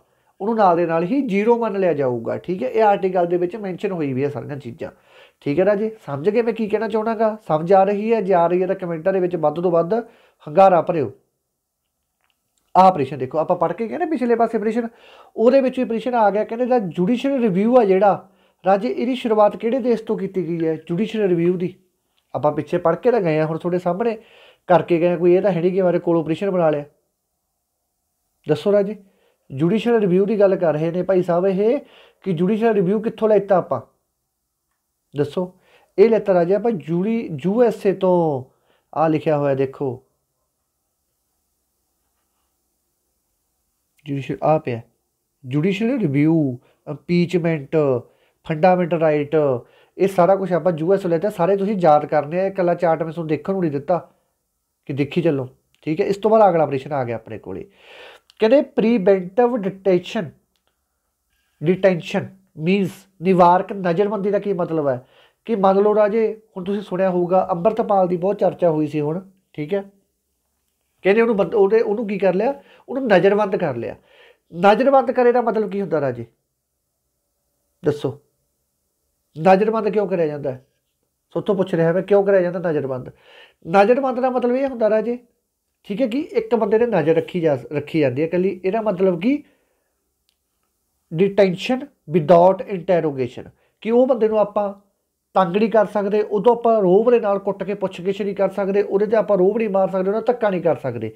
ਸਿਰਫ ਪ੍ਰੀਵੈਂਟਿਵ ਡਿਟੈਕਸ਼ਨ ਦਾ ਮਤਲਬ ਕੀ ਹੁੰਦਾ ਰਾਜੇ ਡਿਟੈਂਸ਼ਨ ਦਾ ਮਤਲਬ ਕੀ ਹੁੰਦਾਗਾ ਕਿ ਸਿਰਫ ਤੇ ਸਿਰਫ ਕੀ ਕਰ ਸਕਦੇ ਆ, ਨਜ਼ਰਬੰਦੀ ਕਰ ਸਕਦੇ ਆ। ਕੀ ਲਿਖਿਆ ਹੋਇਆ detention without interrogation very very very important ਹੈ ਰਾਜੇ। ਤਾਂ ਤਿੰਨ ਨੰਬਰ ਆਪਸ਼ਨ ਆਪਣਾ ਬਿਲਕੁਲ ਸਹੀ ਆਨਸਰ ਹੈਗਾ, ਠੀਕ ਹੈ ਰਾਜੇ। ਇਸ ਤੋਂ ਬਾਅਦ ਅਗਲੇ ਪ੍ਰਸ਼ਨ ਦੀ ਗੱਲ ਕਰਦੇ ਆ, ਅਗਲੇ ਪ੍ਰਸ਼ਨ ਦੇ ਵਿੱਚ ਕੀ ਕਹਿ ਰਹੇ ਨੇ ਆਪਾਂ ਨੂੰ? ਕਹਿੰਦੇ on which of the following planet water cycle is available ਕਹਿੰਦੇ ਹੇਠਲੇ ਗ੍ਰਹਿਾਂ ਵਿੱਚੋਂ ਕਿਹੜੇ ਗ੍ਰਹਿ ਉੱਤੇ ਜਲ ਚੱਕਰ ਉਪਲਬਧ ਹੈ, ਕਿਹੜੇ ਗ੍ਰਹਿ ਤੇ ਪਾਣੀ ਹੈਗਾਗਾ, ਇਹ ਤਾਂ ਤੁਸੀਂ ਮੈਨੂੰ ਲੱਗਦਾ ਉਹੀ ਉਲਝ ਗਏ ਹੋਗੇ ਖਾਮਖਾ ਕਿ ਜੇ ਇੰਨਾ ਸੌਖਾ ਪ੍ਰਸ਼ਨ ਕਿਵੇਂ ਪਤਾ, ਮੈਨੂੰ ਪਤਾ ਹੁੰਦਾ ਕਿ ਕੀ ਵੀ ਸੌਖੇ ਪ੍ਰਸ਼ਨ ਤੇ ਵੀ ਬੱਚਾ ਉਲਝ ਜਾਂਦਾ ਹੁੰਦਾਗਾ, ਔਖਾ ਹਜੇ ਹੱਲ ਕਰ ਲੈਂਦਾ ਹੁੰਦਾਗਾ। ਠੀਕ ਹੈ, ਤਾਂ ਕਿੱਥੇ ਹੈ? ਸਾਰਿਆਂ ਨੂੰ ਪਤਾ। ਅਰਥ ਤੇ ਧਰਤੀ ਦੇ ਉੱਪਰ ਹੀ ਰਾਜੇ ਇਕੱਲਾ ਪਾਣੀ ਹੈ ਜਿਹੜਾ ਉਹਦਾ ਸਾਈਕਲ ਚੱਲਦਾ ਤੇ ਪਾਣੀ ਦਾ ਫਾਰਮੂਲਾ ਕੀ ਹੁੰਦਾ? H2O ਇਹਦਾ ਮਤਲਬ ਕਿ ਹਾਈਡਰੋਜਨ ਦੇ ਦੋ ਅਣੂ ਹੈ ਤੇ ਆਕਸੀਜਨ ਦਾ ਇੱਕ ਅਣੂ ਹੈ। ਬਸ ਹੋਰ ਕੁਝ ਨਹੀਂ ਯਾਦ ਕਰਨਾ, ਬਸ ਗੱਲ ਖਤਮ ਹੈ ਤੋਂ ਬਾਅਦ। ਇਸ ਤੋਂ ਬਾਅਦ ਅਗਲੇ ਦਵਾ, ਅਗਲਾ ਕਹਿੰਦਾ ਗ੍ਰਹਿ ਜਿਹੜੇ ਸੂਰਜ ਦੇ ਦੁਆਲੇ ਘੁੰਮਦੇ ਆ। ਕਿਹੜੇ ਗ੍ਰਹਿ ਜਿਹੜੇ ਸੂਰਜ ਦੇ ਦੁਆਲੇ ਘੁੰਮਦੇ ਆ ਰਾਜੇ? ਇਹ ਹੈਗੇ ਆ ਮਾਰਸ਼ ਐਂਡ ਜੁਪੀਟਰ। ਮਾਰਸ ਮੈਨੇ ਹੁੰਦਾ ਮੰਗਲ ਜੁਪੀਟਰ ਮੈਨੇ ਕੀ ਹੁੰਦਾ ਰਾਜੇ? ਬ੍ਰਹਿਸਪਤੀ। ਬ੍ਰਹਿਸਪਤੀ ਆਪਣਾ ਸਭ ਤੋਂ ਵੱਡਾ ਗ੍ਰਹਿ ਹੈਗਾ। ਇਹ ਗੱਲ ਵੀ ਤੁਸੀਂ ਯਾਦ ਰੱਖਣੀ ਹੈ। ਠੀਕ ਹੈ ਰਾਜੇ? ਤੇ ਆਜੋ ਥੱਲੇ। ਇਹ ਦੁਬਾਰਾ ਅਗਲੇ ਵਿੱਚ ਕੀ ਕਿਹਾ ਜਾਂਦਾ ਹੈਗਾ? ਕਹਿੰਦੇ ਵਿੱਚ ਆਫ ਦਾ ਟਵਿਨ ਆਫ ਦਾ ਅਰਥ ਬਹੁਤ ਵਧੀਆ ਪ੍ਰਸ਼ਨ ਪੁੱਛਿਆ ਗਿਆ ਹੈਗਾ। ਕਹਿੰਦੇ ਧਰਤੀ ਦਾ ਜੁੜਮਾ ਗ੍ਰਹਿ ਕਿਹਨੂੰ ਕਿਹਾ ਜਾਂਦਾ? ਕਿ ਇਹ ਜਮਾ ਧਰਤੀ ਵਰਗਾ ਹੀ ਹੈ ਪਤੰਦਰ। ਠੀਕ ਹੈ ਰਾਜੇ? ਇਹ ਕਿਹੜਾ ਹੈਗਾ? ਇਹ ਹੈਗਾ ਵੀਨਸ। ਠੀਕ ਹੈ? ਵੀਨਸ ਕਿਹੜੇ ਗ੍ਰਹਿ ਨੂੰ ਕਿਹਾ ਜਾਂਦਾ? ਸ਼ੁੱਕਰ ਗ੍ਰਹਿ ਰਾਜੇ ਜਿਹੜਾ ਜਿਹੜਾ ਸ਼ੁੱਕਰ ਗ੍ਰਹਿ ਹੈਗਾ, ਉਹਨੂੰ ਕੀ ਕਿਹਾ ਜਾਂਦਾ ਹੈਗਾ? ਟਵਿਨ ਆਫ ਦਾ ਅਰਥ ਕਿ ਧਰਤੀ ਦੀ ਭੈਣ ਕਿਹਾ ਜਾਂਦਾ ਉਹਨੂੰ। ਧਰਤੀ ਦੀ ਭੈਣ ਵੀ ਸਿਸਟਰ ਆਫ ਅਰਥ ਵੀ ਲਿਖਿਆ ਸਕਦਾ ਸਕਦਾਗਾ ਦਾ ਟਵਿਨ ਆਫ ਅਰਥ ਵੀ ਲਿਖਿਆ ਸਕਦਾ ਸਕਦਾਗਾ ਕਿਉਂਕਿ ਸ਼ੁੱਕਰ ਗ੍ਰਹਿ ਨੂੰ ਜੇ ਤੁਸੀਂ ਦੇਖੋਗੇ ਅਰਥ ਨੂੰ ਦੇਖੋਗੇ, ਉਹ ਸਹਿਜ ਬੰਦਕ ਦੋਨੇ ਇੱਕੋ ਜਿਹੇ ਲਗਭਗ ਰਾਜੇ, ਬਹੁਤ ਘੱਟ ਡਿਫਰੈਂਸ ਆ ਉਹਨਾਂ ਦੇ ਵਿੱਚ। ਤਾਂ ਕਰਕੇ ਇਹਨੂੰ, ਇਹਦੀ ਭੈਣ ਕਿਹਾ ਜਾਂਦਾ ਜਾਂਦਾਗਾ ਰਾਜੇ, ਠੀਕ ਹੈ? ਤੇ ਇੱਕ ਤੁਸੀਂ ਮੈਨੂੰ ਆਪ ਦਾ ਜਵਾਬ ਦਿਓਗੇ ਕਿ evening star and morning star ਕਿਹੜੇ ਗ੍ਰਹਿ ਨੂੰ ਕਿਹਾ ਜਾਂਦਾ? ਪਲੀਜ਼ ਮੈਨੂੰ ਦੱਸੋ ਕਮੈਂਟਾਂ ਦੇ ਵਿੱਚ, ਠੀਕ ਹੈ? ਇਸ ਤੋਂ ਬਾਅਦ ਅਗਲਾ ਹੇਠ ਲਿਖਿਆ ਗਿਆ ਜੋ ਸੂਰਜ ਦੇ ਸਭ ਤੋਂ ਨੇੜੇ ਲੱਗ ਰਿਹਾ ਕਿਹੜਾਗਾ? ਹਰੇਕ ਬੱਚੇ ਨੂੰ ਪਤਾ ਹੋਊਗਾ ਸੂਰਜ ਦਾ ਸਭ ਤੋਂ ਨੇੜੇ ਲੱਗ ਰਿਹਾ ਕਿਹੜਾਗਾ? ਸੂਰਜ ਦੇ ਸਭ ਤੋਂ ਨੇੜਲਾ। ਓਕੇ, ਬੋਲੋ। ਦੇਖੋ ਨਾ ਜਿਹੜਾ ਆਪਾਂ ਉਹ ਦੇਖੀਏ, ਤਾਂ ਮਾਰਸ ਆਉਂਦਾਗਾ। ਠੀਕ ਹੈ, ਮਾਰਸ ਆਉਂਦਾ, ਠੀਕ ਹੈ। ਕਿ ਵੀਨਸ ਆਉਂਦਾ, ਕਿ ਜੁਪੀਟਰ ਆਉਂਦਾ, ਕਿ ਯੂਰੇਨਸ ਆਉਂਦਾ, ਦੱਸਿਓ। ਤੁਹਾਨੂੰ ਮੈਂ ਟੇਬਲ ਦੇ ਦਾ ਦਿਖਾਣੇ ਕੋਣਾ ਉਸ ਨੂੰ ਇਹਦਾ ਦੇਖੋ ਟੇਬਲ ਇੱਕ ਵਾਰੀ ਆਪਰੇਸ਼ਨ ਤੁਸੀਂ ਪੈਂਡਿੰਗ ਰੱਖੋ, ਠੀਕ ਹੈ? ਇੱਥੇ ਵੀਨਸ ਲਿਖਿਆ ਹੋਇਆ। ਇਹਨਾਂ ਦੇ ਵਿੱਚੋਂ ਦੱਸਣਾ ਤੁਹਾਨੂੰ ਕਿਹੜਾ ਆਉਂਦਾ, ਕਿਉਂਕਿ ਵੈਸੇ ਤਾਂ ਮਰਕਰੀ ਆਉਂਦਾ। ਸਭ ਤੋਂ ਨੇੜੇ ਮਰਕਰੀ ਆਉਂਦਾਗਾ ਠੀਕ ਹੈ ਰਾਜੇ? ਮਰਕਰੀ ਨੂੰ ਆਪਾਂ ਬੁੱਧ ਗ੍ਰਹਿ ਕਹਿ ਦਿੰਦੇ ਆ। ਪਰ ਇਹਨਾਂ ਦੇ ਵਿੱਚੋਂ ਜੇ ਪੁੱਛਣ ਤਾਂ ਸਭ ਤੋਂ ਨੀਚੇ ਆਉਂਦਾ ਬੁੱਧ ਸ਼ੱਕਰ, ਤੁਹਾਨੂੰ ਪਤਾ ਚਾਰ ਗ੍ਰਹਿ ਹੁੰਦੇ ਆ, ਸਭ ਤੋਂ ਪਹਿਲਾਂ ਤਾਂ ਆਉਂਦਾ ਬੁੱਧ, ਫਿਰ ਆਉਂਦਾ ਸ਼ੱਕਰ, ਫਿਰ ਆਉਂਦਾ ਪ੍ਰਿਥਵੀ, ਫਿਰ ਆਉਂਦਾ ਮੰਗਲ, ਫਿਰ ਬ੍ਰਹਿਸਪਤੀ, ਠੀਕ ਹੈ? ਬੁੱਧ ਨੂੰ ਮਰਕਰੀ ਸ਼ੱਕਰ ਨੂੰ ਵੀਨਸ ਪ੍ਰਿਥਵੀ ਨੂੰ ਅਰਥ ਮੰਗਲ ਨੂੰ ਮਾਰਸ ਠੀਕ ਹੈ, ਤਾਂ ਇਹਨਾਂ ਦੇ ਵਿੱਚੋਂ ਪੁੱਛਿਆ ਸੀ ਸੌਰੀ ਇਹਨਾਂ ਨੇ ਇਹਨਾਂ ਦੇ ਵਿੱਚੋਂ ਵੀਨਸ ਸੀ ਆਉਂਦਾ ਪਹਿਲ ਨੰਬਰ ਤੇ, ਠੀਕ ਹੈ? ਇਹ ਗੱਲ ਯਾਦ ਰੱਖਣੀ ਜਿੱਥੇ ਮਰਕਰੀ ਹੁੰਦਾ ਫਿਰ ਮਰਕਰੀ ਹੁੰਦਾ ਦੇਖੋ। ਇਸ ਤੋਂ ਬਾਅਦ ਅਗਲਾ ਪ੍ਰਸ਼ਨ, ਕਹਿੰਦੇ the light of the sun reach the earth in about ਜੋ ਤੜਕੇ ਸੂਰਜ ਨਿਕਲਦਾ ਰਾਜੇ ਕਹਿੰਦੇ ਸੂਰਜ ਦੀ ਰੋਸ਼ਨੀ ਧਰਤੀ ਦੇ ਕਿੰਨੇ ਸਮੇਂ ਦੇ ਵਿੱਚ ਪਹੁੰਚਦੀ ਹੈ, ਤਾਂ ਇਹ ਪ੍ਰਸ਼ਨ ਬਹੁਤ ਜ਼ਿਆਦਾ ਵਾਰੀ ਪੇਪਰ ਦੇ ਵਿੱਚ ਆਇਆ ਹੋਇਆ ਰਾਜੇ। ਤਾਂ ਇਹ ਪਹੁੰਚਦੀ ਹੈ ਰਾਜੇ 8 ਮਿੰਟ ਦੇ ਵਿੱਚ। ਵੈਸੇ ਰਾਜੇ ਪੂਰਾ ਟਾਈਮ ਦੇਖੀਏ 8 ਮਿੰਟ 33 ਸਕਿੰਟ ਹੈਗੇ, ਪਰ ਆਪਾਂ 8 ਮਿੰਟਾਂ ਨੂੰ ਹੀ ਪ੍ਰੋਪਰ ਮੰਨਾਂਗੇ। ਇੰਨੇ ਟਾਈਮ ਦੇ ਵਿੱਚ ਸੂਰਜ ਦੀ ਰੋਸ਼ਨੀ ਜਿਹੜੀ ਉਹ ਸਿੱਧੀ ਧਰਤੀ ਤੇ ਆ ਜਾਂਦੀ ਹੈ। ਤਾਂ ਵੈਰੀ ਵੈਰੀ ਵੈਰੀ ਇੰਪੋਰਟੈਂਟ ਪ੍ਰਸ਼ਨ ਹੈ ਰਾਜੇ। ਠੀਕ ਹੈ ਜੀ? ਤਾਂ ਚਲੋ, ਹੁਣ ਤੁਹਾਨੂੰ ਮੈਂ ਆ ਦਿਖਾਦਾ ਦੇਖੋ ਰਾਜੇ।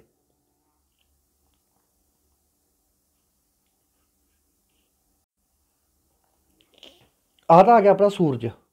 ਠੀਕ ਹੈ ਆ ਆ ਗਿਆ ਮਰਕਰੀ। ਮਰਕਰੀ ਨੂੰ ਕੀ ਕਿਹਾ ਜਾਂਦਾ ਹੈਗਾ? ਬੁੱਧ।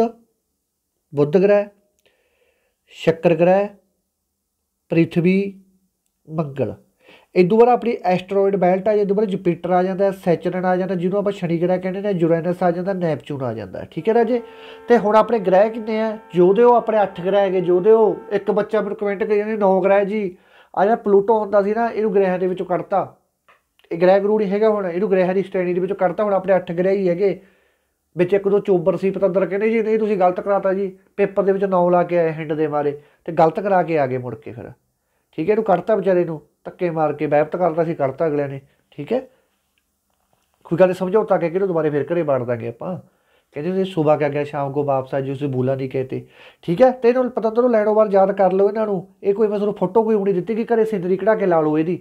ਇਹ ਤੁਹਾਨੂੰ ਯਾਦ ਕਰਨ ਵਾਸਤੇ ਦਿੱਤੀ ਹੈ। ਠੀਕ ਹੈ, ਪੇਪਰ ਕਲੀਅਰ ਕਰਨਾ ਤਾਂ ਸਾਰਾ ਕੁਝ ਪੜ੍ਹਨਾ ਪਊਗਾ ਸੀਰੀਅਸ ਹੋ ਕੇ ਤਿਆਰੀ ਕਰਨ ਲੱਗ ਜਾਓ। ਠੀਕ ਹੈ, ਇਸ ਤੋਂ ਬਾਅਦ ਆ ਗਿਆ ਆਪਾਂ ਅੱਗੇ ਅੱਗੇ ਕੀ ਕਹਿ ਰਹੇ ਨੇ ਆਪਾਂ ਨੂੰ? ਕਹਿੰਦੇ ਦਾ ਫੇਮਸ ਲਗੂਨ ਲੇਕ ਕਿੱਥੇ ਹੈ? ਆਜੋ ਦੱਸੋ ਹੁਣ। ਫੇਮਸ ਲਗੂਨ ਲੇਕ ਬਾਰੇ ਪੁੱਛ ਲਿਆ।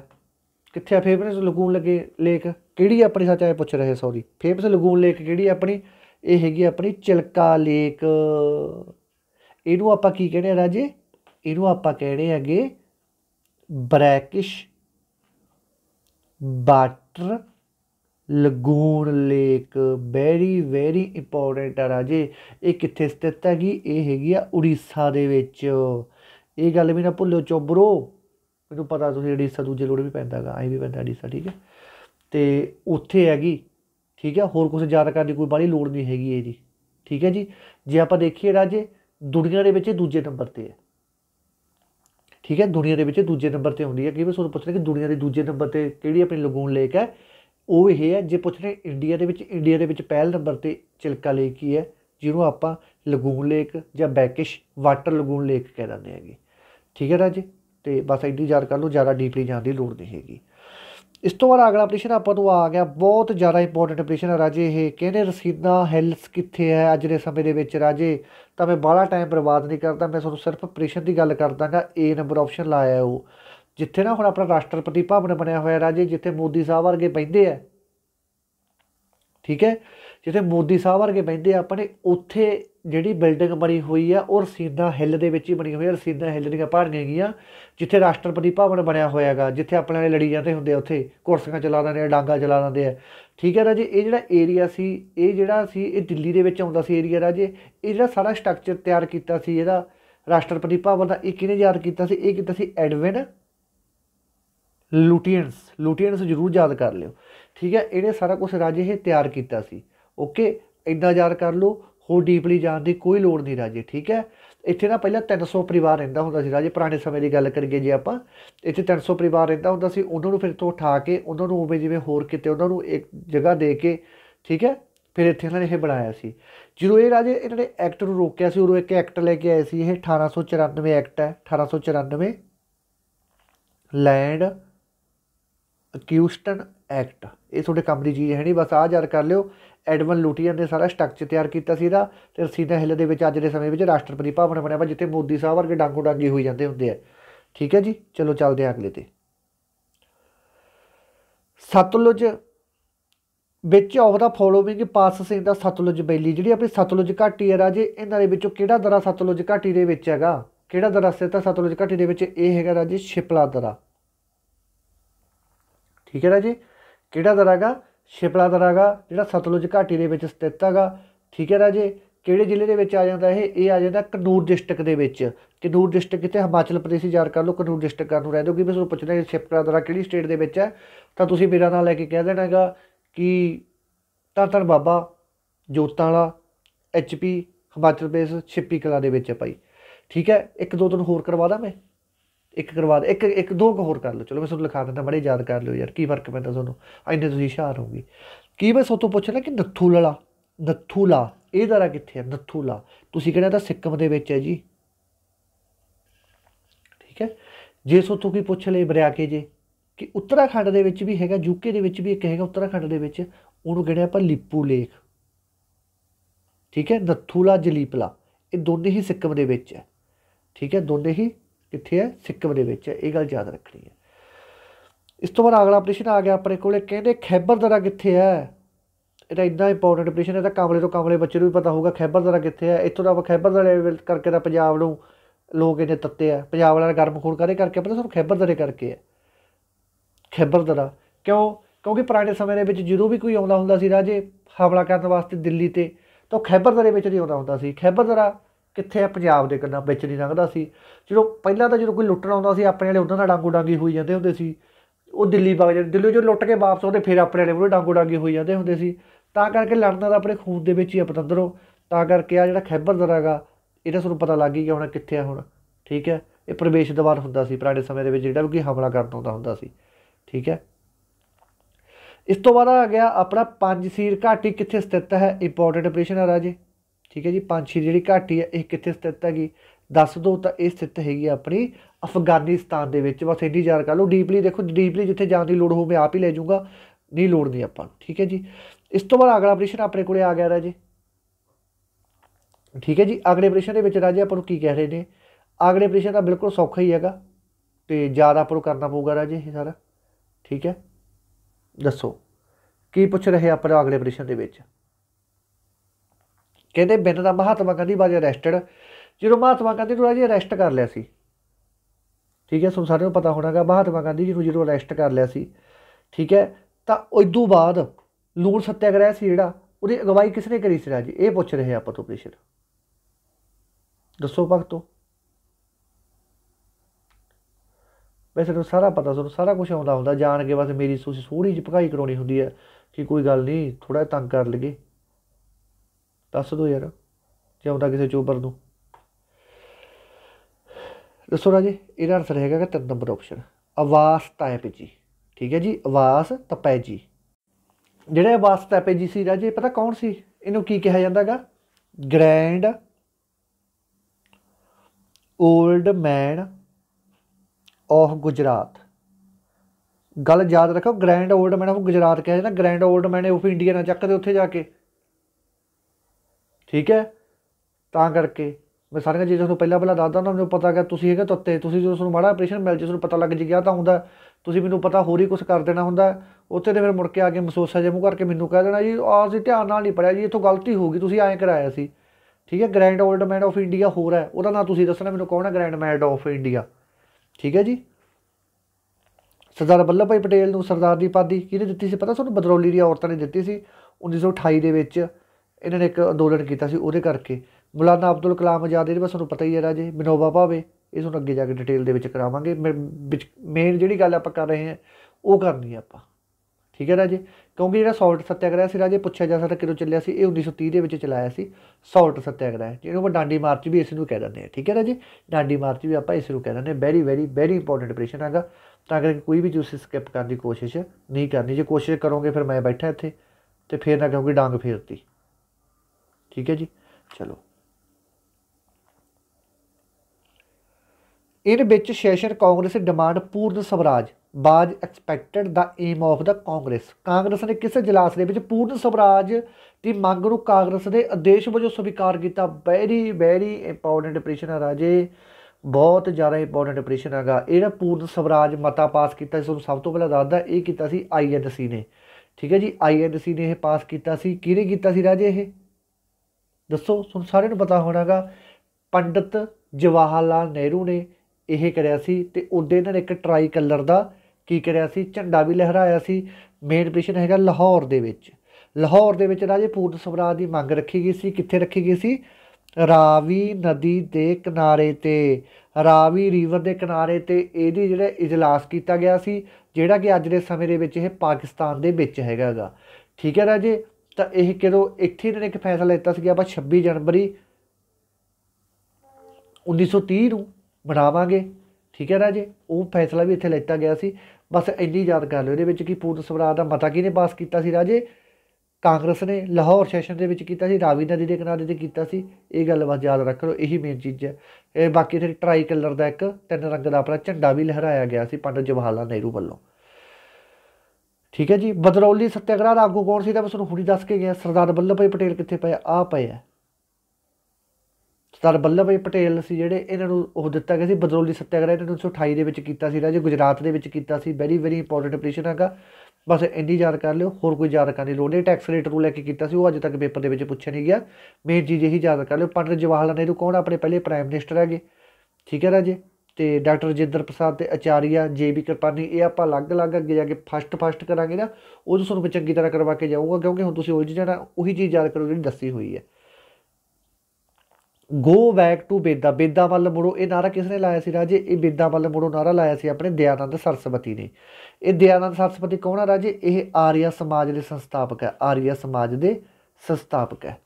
ਜਿਹੜਾ ਸਵਾਮੀ ਵਿਵੇਕਾਨੰਦ ਰਾਜੇ ਇਹਨਾਂ ਦੀ ਯਾਦ ਦੇ ਵਿੱਚ ਹੀ 12 ਜਨਵਰੀ ਨੂੰ ਜਿਹੜਾ ਹੈਗਾ ਯੂਥ ਡੇ ਮਨਾਇਆ ਜਾਂਦਾ ਹੈਗਾ ਯੂਥ ਡੇ। ਇਹ ਕਰੰਟ ਅਫੇਅਰ ਦਾ ਆਪਰੇਸ਼ਨ ਵੀ ਹੈਗਾਗਾ ਠੀਕ ਹੈ? ਰਾਮਕ੍ਰਿਸ਼ਨ ਮਿਸ਼ਨ ਤੇ ਰਾਮਕ੍ਰਿਸ਼ਨ ਪਰਮਹੰਸ ਠੀਕ ਹੈ? ਜੋਤੀ ਬਾ ਫੁੱਲੇ, ਇਹਨਾਂ ਦੀ ਆਪਾਂ ਅਲੱਗ ਤੋਂ ਤੁਹਾਨੂੰ ਜਿਹੜੇ ਜਿਹੜੇ ਇਹਨਾਂ ਨੇ ਪ੍ਰੋਗਰਾਮ ਕੀਤੇ ਸੀ, ਉਹਨਾਂ ਦੀ ਤੁਹਾਨੂੰ ਇੱਕ ਲਿਸਟ ਬਣਾ ਕੇ ਦੇਵਾਂਗਾ ਮੈਂ। ਠੀਕ ਹੈ ਨਾ ਜੀ? ਜਿਹਦੇ ਵਿੱਚ ਤੁਸੀਂ, ਮੈਂ ਉਹਦੇ ਤੇ ਕਰਵਾਇਆ ਹੋਇਆ ਐਪ ਦੇ ਨੇ ਜੀ ਜੀ ਕਰਵਾਈ ਹੋਈ ਜੀ ਤੁਹਾਨੂੰ ਸਾਰਾ ਦੱਸਿਆ ਹੋਇਆ ਕਿ ਕਿਹੜੇ ਕਿਹੜੇ ਕਮੇਟੀਆਂ ਸੀ ਇਹਨਾਂ ਦੀਆਂ। ਇਹ ਤੁਹਾਨੂੰ ਇੱਕ ਵਾਰੀ ਮੈਂ ਫੇਰ ਕਰਵਾਉਂਗਾ ਠੀਕ ਹੈ ਨਾ ਜੀ? ਫਿਲਹਾਲ ਦੋ ਚੀਜ਼ਾਂ ਬਾਰੇ ਯਾਦ ਕਰ ਲਿਓ ਇਸ ਤੋਂ ਬਾਅਦ ਅੱਜ ਦਾ ਆਪਣਾ ਲਾਸਟ ਆਪਰੇਸ਼ਨ ਕਿਹੜਾ ਹੈਗਾ? ਕਹਿੰਦੇ ਨਾਓ ਖਾਲੀ ਕਿੱਥੇ ਸਥਿਤ ਆ? ਬਹੁਤ ਵਾਰੀ ਪੇਪਰ ਦੇ ਵਿੱਚ ਪੁੱਛਿਆ ਗਿਆ, ਇਹ ਹੈਗਾ ਬੰਗਲਾਦੇਸ਼ ਦੇ ਵਿੱਚ ਸਥਿਤ। ਇੱਥੇ ਰਾਜੇ ਬਹੁਤ ਸਮੇਂ ਪਹਿਲਾਂ ਦੀ ਗੱਲ ਹੈਗੀ। ਠੀਕ ਹੈ ਰਾਜੇ? ਤਾਂ ਇੱਥੇ ਨਾ ਇੱਕ ਹੈਗੀ ਸੀ ਚਿੱਤਗੋਂਗ ਡਿਵੀਜ਼ਨ ਸੀ ਇੱਥੇ। ਕਿਹੜੀ? ਚਿੱਤਗੋਂਗ। ਇੱਥੇ ਬਹੁਤ ਸਾਰੇ ਲੋਕਾਂ ਦੇ ਨਾਲ, ਠੀਕ ਹੈ ਰਾਜੇ? ਹਿੰਦੂ ਦੇ, ਹਿੰਦੂਆਂ ਦੇ ਵੀ ਆਸ ਦੇ ਵਿੱਚ ਰੇਪ ਹੋਇਆ ਸੀ, ਲੁੱਟ ਹੋਈ ਸੀ, ਬਹੁਤ ਜ਼ਿਆਦਾ ਘਾਣ ਹੋਇਆ ਸੀ ਇਹ। ਇਹ ਅਕਤੂਬਰ, ਨਵੰਬਰ ਦੀ ਗੱਲ ਹੈ ਰਾਜੇ। 1946 ਦੀ ਗੱਲ ਹੈਗੀ। ਉਦੋਂ ਇਹ ਸਾਰਾ ਕੁਝ ਹੋਇਆ ਸੀ। ਠੀਕ ਹੈ ਜੀ, ਗਾਂਧੀ ਜੀ ਵਿੱਚ ਬਹੁਤ ਟਾਈਮ ਰਹਿ ਕੇ ਆਏ ਸੀ, ਠੀਕ ਹੈ ਜੀ, ਤੇ ਆਪਸ ਦੇ ਵਿੱਚ ਲੜਾਈ ਸੀ ਇਹਨਾਂ ਦੀ, ਠੀਕ ਹੈ ਜੀ, ਬਸ ਇੰਨਾ ਯਾਦ ਕਰ ਲਿਓ ਕਿ ਨੌ ਖਾਲੀ ਕਿੱਥੇ ਬੰਗਲਾਦੇਸ਼ ਦੇ ਵਿੱਚ ਹੈ ਬਸ ਹੋਰ ਕੁਝ ਨਹੀਂ, ਕਿਉਂਕਿ ਐਕਸਟਰਾ ਚੀਜ਼ ਪੜ੍ਹਦਾ ਤਾਂ ਫਾਇਦਾ ਜੀ ਪੇਪਰ ਦੇ ਵਿੱਚ ਆਊਗੀ, ਜਿਹੜੀ ਚੀਜ਼ ਤੁਹਾਨੂੰ ਦੱਸਣ ਦੀ ਲੋੜ ਸੀ ਮੈਂ, ਉਹ ਦੱਸਤੀ, ਠੀਕ ਹੈ ਨਾ ਜੀ ਕਿਵੇਂ ਲੱਗਿਆ ਜਿਹੜਾ ਲੈਕਚਰ ਮੈਨੂੰ ਜਰੂਰ ਦੱਸਿਓ ਕਮੈਂਟਾਂ ਦੇ ਵਿੱਚ, ਠੀਕ ਹੈ ਨਾ ਜੀ ਜੇ ਤੁਹਾਨੂੰ ਵੀਡੀਓ ਵਧੀਆ ਲੱਗੀ ਤਾਂ ਤੁਹਾਡੇ ਵਾਸਤੇ ਮੈਂ ਡੇਲੀ ਇਹ ਵੀਡੀਓ ਲੈ ਕੇ ਆਇਆ ਕਰੂੰਗਾ, ਧੰਨਵਾਦ ਮੇਰੇ ਦੋਸਤੋ, ਜਿਉਂਦੇ ਵਸਦੇ ਰਹੋ।